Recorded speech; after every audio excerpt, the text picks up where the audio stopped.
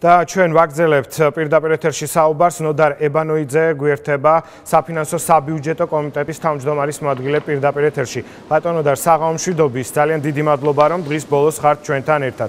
ბატონო და გასაგებია რომ შოკი როგორც შოკი და ზოგადად როგორც ხადური უწოდებს შოკუნიები ამჯერად საგარეო ფაქტორებთან არის დაკავშირებული და გამოწვეული თუმცა მას შემდეგ რაც ჩაივლის ეს რყევები რის გაკეთებას აპირებს თქვენი ზოგადად მთავრობა თქვენი პროგნოზი როგორი იქნება ეკონომიკური გუნდის საქმიანობასთან დაკავშირებით. გაქვთ თუ არა თქვენ რაიმე ინფორმაცია იმ გეგმის შესახებ, რომელიც არის დაუშვათ მთავრობის მიერ უკვე შემუშავებული? მოგესალმებით.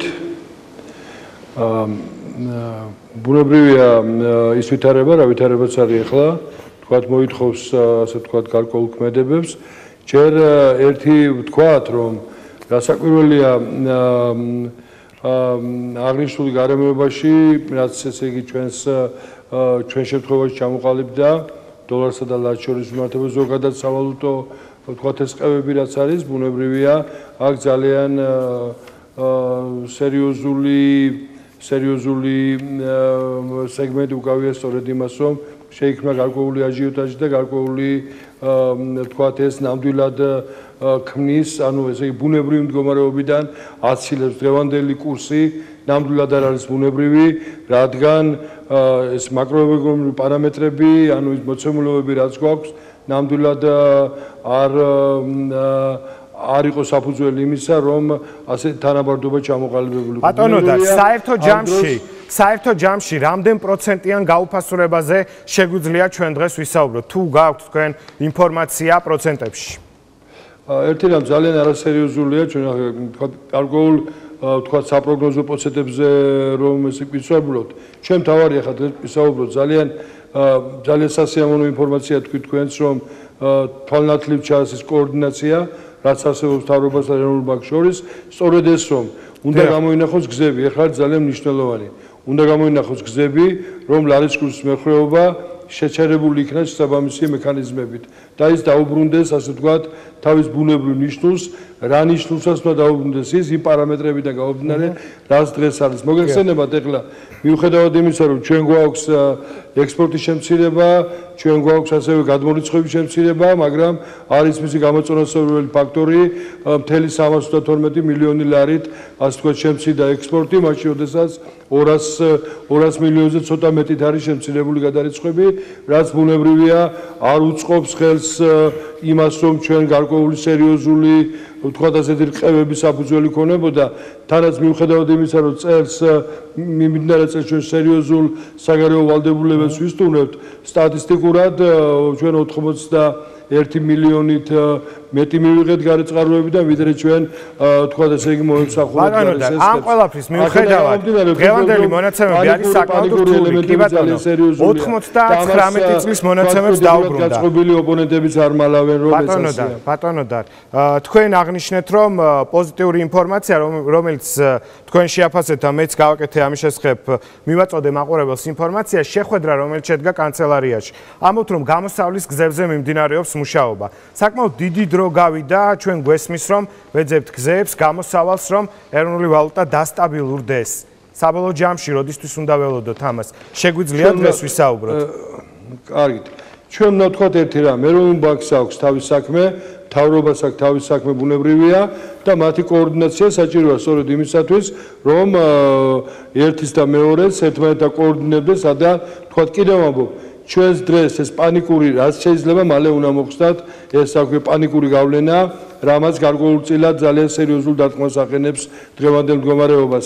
ჩვენ უნდა ველოდოთ კიდევ ამბობ რომ მიუხედავად იმისა ჩვენ მქონდა სეზონური დადებითი ვთქვათ ფაქტორი, რაც მართლაც იყო ტურიზმი და ამაზე ჩვენ ბევრს ლაპარაკობდით, თუმცა ამასთან ვთქვათ ისიც, რომ აგვისტოს თვე გამოირჩევა გარკვეული დოლარზე მოთხოვნის დილს, რაც არის ვთქვათ გარკვეული სადოლარო ვალდებულების გასტურებით კომერციული სტრუქტურების, განსაკუთრებით ამ პერიოდში ტურ ოპერატორების მიერ და ასე მოიხსენებათ არის ძალიან ძალიან ბევრი ფაქტორი და დიდი დაწოლები რაც იყო ლართან მიმართებაში ფიქრობ უკვე გადატანილია და ჩვენ არ უნდა გქონდეს შიში მძიმე შემოდგომისა, რადგან სწორედ ის ფაქტორები, რასაც შიში ქონდა შემოდგომით, სწორედ ეხლა ადრეულ ადრეულ ეტაპზე მოახდინა თავისი ბატონო და ჩვენ თავრობის თავრობის პროგნოზი გვახსოვს ივნისი აგვისტო ტურისტების შემოყვანასთან დაკავშირებით ამბობდნენ რომ როდესაც ტურისტები შემოვლენ დოლარი შემოვა. ქვეყანაში და ეს შეუწყობს ლარის დასტაბილურებას ხელს. ამ მიმართულებით ჩვენ შეგვიძლია ვისაუბროთ.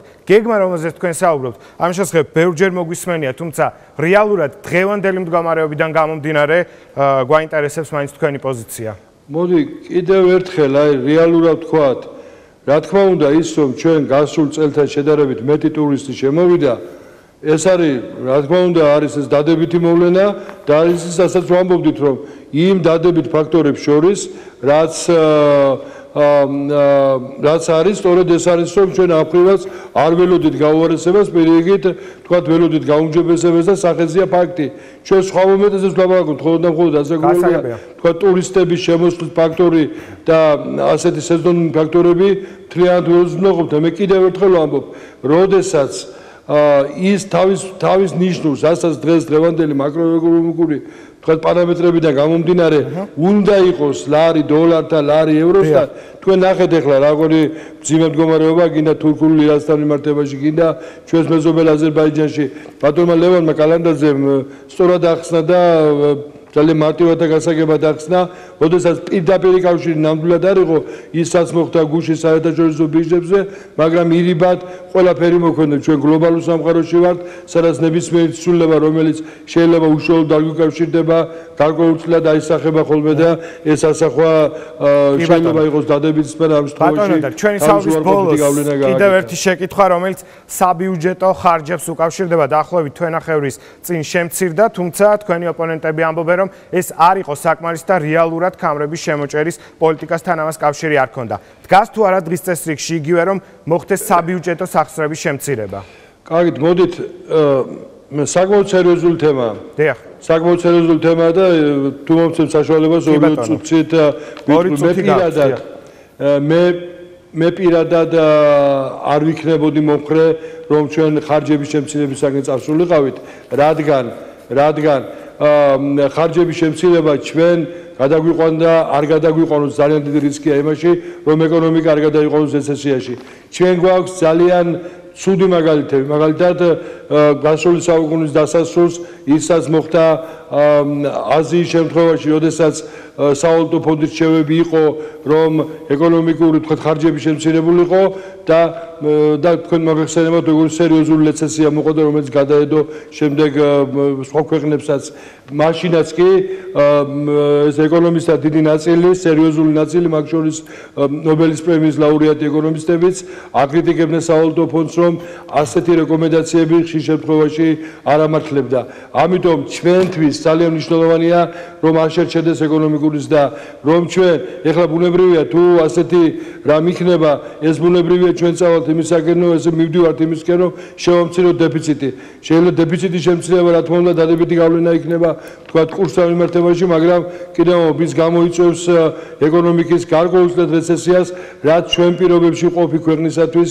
ალბათ ფიქრობ არის ძალიან ესე იგი სერიოზული რისკი და ფიქრობ რომ მათ თუმცა კიდევ შეიძლება თავრობამ ჩვენი კანონმდებლობით თავრობა შემოდის ინიციატივებით თავრობამ შესაძლოა გარკვეულ ხარჯებთან დაკავშირებით თუ კი მიიჩნევს მე ვფიქრობ რომ დღეს მაშინ როდესაც მიმდინარეობს სხვა შორის კარგია ბევრი დადებითი მომენტია ერთ-ერთი ის რომ გასული წლების განსხვავებით ხარჯების თანაბრობა დანახარჯი ესე იგი თანაბარი ხარჯების თანხები ესე ძალიან დადებითი მოვლენაა მაგრამ თუ კი მიიჩნევს თავრობა რომ კიდევ არის საჭირო რაღაც დამატებითი ღონისძიებები.